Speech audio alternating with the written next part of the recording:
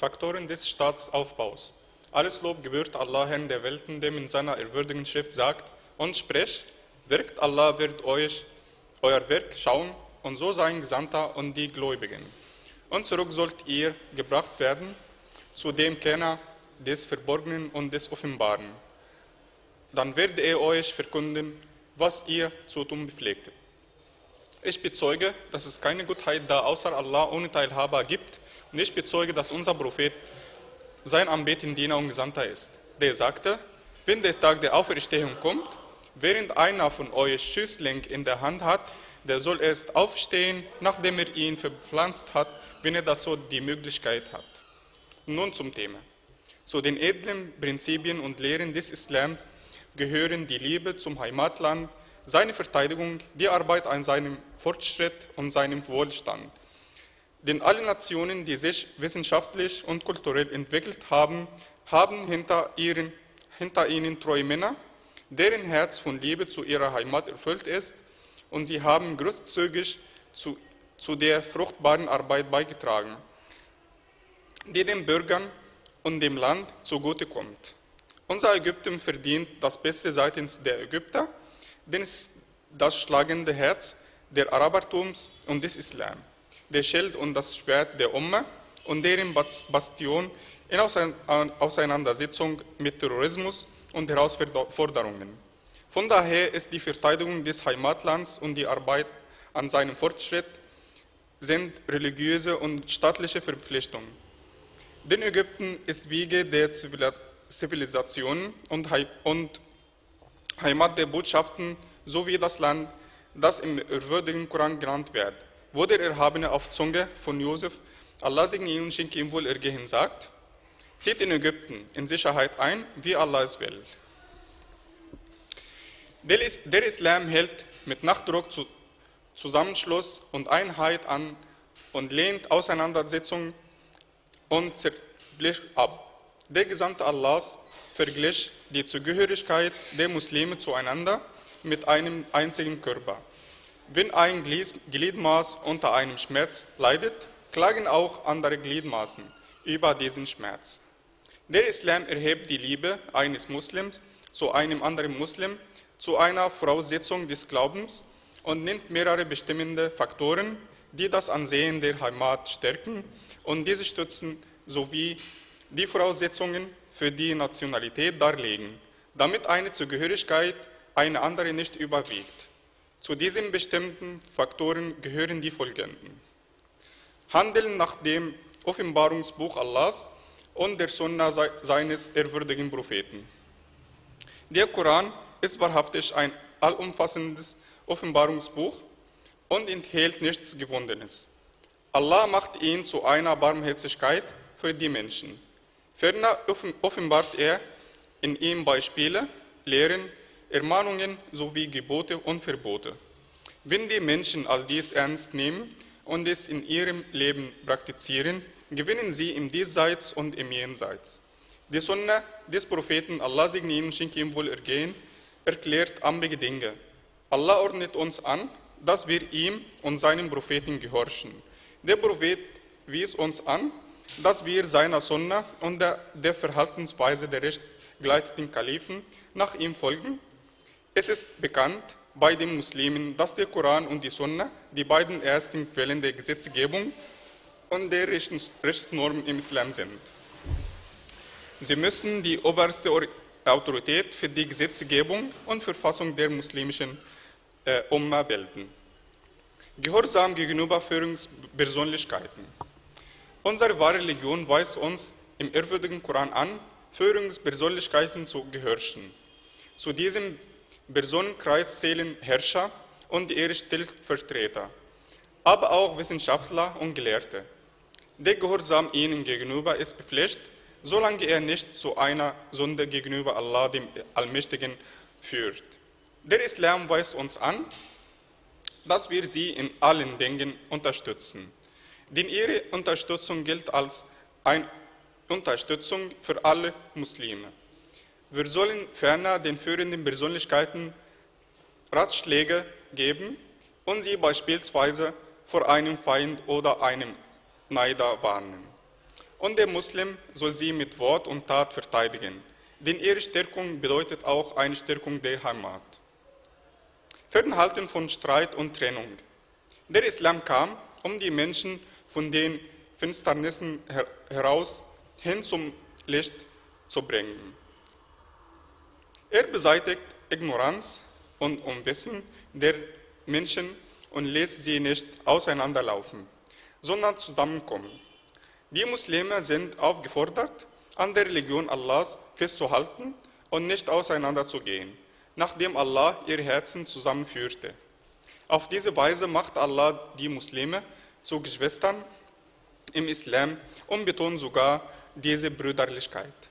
Ein Muslim soll seinen Mitmenschen nicht missachten. Jeder Muslim ist angewiesen, seinen Bruder zu lieben, wie er sich selbst liebt. Der Islam funktioniert auf das Echten von Zerblättung und Aufruhr. Denn derartiges führt zu großem Übel. Schützen der Heimat und der Staatsbürger. Der ehrwürdige Koran berichtet uns von absoluter Sicherheit, die Menschen sollen im Diesseits ein sicheres Leben führen, was sich auch auf ihren Intellekt, ihre Ehre und ihr Vermögen bezieht. So werden sie auch im Jenseits vor Gewalten sicher sein. Unser Prophet Abraham, Allah segne ihn und schenke ihm Wohlergehen, bat Allah darum, dass er seine Angehörigen und seine Heimat sichert, bevor er um Lebensunterhalt bat. Denn Sicherheit ist die Grundlage eines guten Lebens. Das Vermögen ist wertlos, wenn es keine Sicherheit gibt. Unser Prophet Muhammad, Allah segne ihn und schenke ihm wohl ergehen, sprach über diese Bedeutung und erwähnte, wer Gesundheit, Sicherheit und Lebensunterhalt eines Tages hat, hat das Leben im Diesseits. Der Erhabene sagt, Allah hat von den Gläubigen ihr Leben und ihr Gut für das Paradies erkauft. Sie kämpfen für Allahs Sache, sie töten und werden getötet. Eine Verheißung in der Tora und im Evangelium und im Koran. Das sich anstrengen und erledigen der Verpflichtungen in bester Weise. Es wurde von Kab ibn Juz'a, möge Allah auf ihn wohl, Wohlgefallen finden, überliefert, dass ein Mann beim Propheten, Allah segne ihn und schenke ihm wohl ergehen, vorbeikam dann sahen die Gefährten des Propheten, Allah segne ihn und schenke ihm wohl ergehen, von ihm Anstrengung und Aktivität, dermaßen sie sagten, O Allahs Gesandter, wie wäre es, wenn seine Arbeit auf dem Wege Allahs wäre? Da sagte der Prophet, Allah segne ihn und schenke ihm wohl ergehen, wenn er sein Haus verlässt, um für seine kleinen Kinder aufzuwenden, ist das auf dem Wege Allahs. Wenn er sein Haus verlässt, um für seine alten Eltern aufzuwenden, ist das auf dem Wege Allahs. Wenn er sein Haus verlässt, um sich selbst tugendhaft zu machen, ist das auf dem Wege Allahs. Und wenn er sein Haus aus Heuchelei verlässt, ist das auf dem Wege des Satans. So spornt unsere wahre Religion zum Arbeiten bzw. tun des Besten an. Der Erhabene sagt, der den Tod erschaffen hat und das Leben, dass er euch prüfte, wer von euch der Beste ist im Handeln und er ist der Allmächtige und Allverzeihende. Er sagt auch, O ihr, die ihr glaubt, wenn zum Freitagsgebet gerufen wird, dann eilt zum Gedenken Allahs und stellt den Geschäftsbetrieb ein. Das ist besser für euch, wenn ihr es nur wüsstet. Und wenn das Gebet beendet ist, dann zerstreut euch im Land und trachtet nach Allahs Gnadensfülle und gedenkt Allahs häufig, auf dass ihr Erfolg haben möget. Der Prophet, Allah segne ihn und schenke ihm wohl ergehen, zählte das Essen, das der Mensch selbst besorgt hat, als das Beste, indem der Prophet, Allah segne ihn und schenke ihm wohl ergehen, sagte, keiner hat etwas gegessen, besser als das, was er selbst besorgt. Und der Prophet Allahs, David, Allah segne ihn schenke ihm wohl ergehen, pflegte das zu essen, was er, was er selbst besorgte. Zu den wichtigsten Faktoren des Staatsaufbaus gehören das Wissen und die gute Verwaltung.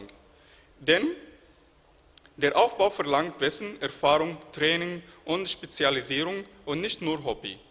Der erwürdigen Koran und die edle prophetische Sunna betonen dies indem der Erhabene sagt auf Zunge von Josef, Allah segne ihn und schenke ihm Wohlergehen, er sprach, setze mich über die Schatzkammern des Landes, denn ich bin Hüter, ein Wohlfahrender. Allah sagt auch auf Zunge der Tochter von Shuaib, da sprach eine der beiden, O mein Vater, denke ihn, denn er der beste Mann, den du denken kannst, ist einer, der stark ist, ehrlich. Der Prophet Allah segne ihn und schenke ihm wohl Ergehen pflegte, seine Gefährten nach Erfahrung und Leistungsfähigkeiten anzustellen und nicht aus Gefälligkeit oder Liebe oder wegen Verwandtschaft. Es wurde von Abu Dhar, möge Allah auf ihm Wohlgefallen finden, überliefert, dass er zum Propheten Allah segne ihn und schenke ihm wohl Ergehen sagte, O Gesandter Allahs, würdest du mich zu einem Herrscher nennen? Da schlug er mit seiner Hand meine Schulter und sagte, O Abu Dhar, du bist schwach und die Herrschaft ist ein anvertrautes Gut und ist am Tag der Auferstehung Schändlichkeit und Reue. Es sei denn, wer sie für wahre Beauftragung bzw. Verantwortung hält und dabei seine Verpflichtungen verrichtet. In diesem Hinsicht sagte der Prophet Allah segne ihn und schenke ihm Wohlergehen zu Abdurrahman ibn Samra, O Abdurrahman, strebe nicht nach der Herrschaft, denn wenn du sie erfreust, ohne danach gestrebt hast zu haben, wirst du dabei geholfen. Und wenn du sie aber erfreust, nachdem du danach gestrebt hast, nimmst du dich auf sie. Brüder im Islam, zweifelsohne hat die Liebe zur Heimat eine große Bedeutung im Islam. Dies ist eine menschliche Veranlagung. Allah erschafft den Menschen mit dieser Veranlagung. Der Prophet, Allah segne ihn und schenke ihm wohl Ergehen, liebte seine erste Heimat Mekka sehr und war sehr traurig bei seiner Auswanderung aus Mekka. Wenn die Leute von Mekka den Propheten nicht vertrieben hätten, hätte er sie sicher nicht verlassen. Denn es war je seine Heimat, in der er aufgewachsen war. Nach seinen eigenen Worten war es das beste Land in seinem Herzen. Als die Sehnsucht nach, nach, nach ihr sich verstärkte, sagte Allah zu ihm, wahrhaftig, der die den Koran verpflichtend gemacht hat, wird dich sicher zu einem Ort der Wiederkehr zurücklassen. Als der Prophet Allah segne ihn schenke ihm wohl Ergehen von Mekka nach Medina auswanderte, bat er Allah, dass er ihn Medina lieben lassen möge, wie er in ihr habe leben lassen. Allah, der Hocherhabene, erhörte seine Bitte. Immer wenn er von einer Reise nach Medina zurückkehrte, blickte er auf die Mauern von Medina und veranlasste wegen seiner Liebe zu Medina sein Reitkamel, dass es schnell läuft. Zu den wichtigsten Faktoren des Staatsaufbaus gehört die Gerechtigkeit, die Allah Menschen gleich, die alle Menschen gleich ohne Bevorzugung bzw. Unterscheidung ansieht. Allah der Erhabene sagt, Allah gebietet Gerechtigkeit und Gutes zu tun und zu spenden wie den Verwandten und er verbietet das Schändliche, das offenbar schlecht und die Übertretung. Man sagte, dass, Staat, dass ein Staat mit Gerechtigkeit zusammen mit mehr Glauben und nicht mit Ungerechtigkeit und Islam erleben kann. Daher lehnt der Islam jede Form von Ungerechtigkeit und Tyrannie ab. O Allah, lass uns die Sicherheit in unseren Staaten erfreuen und leihe unseren Geschäftsführern den Erfolg und bewahre unsere Heimatsländer vor Tyrannie und Verderbnis.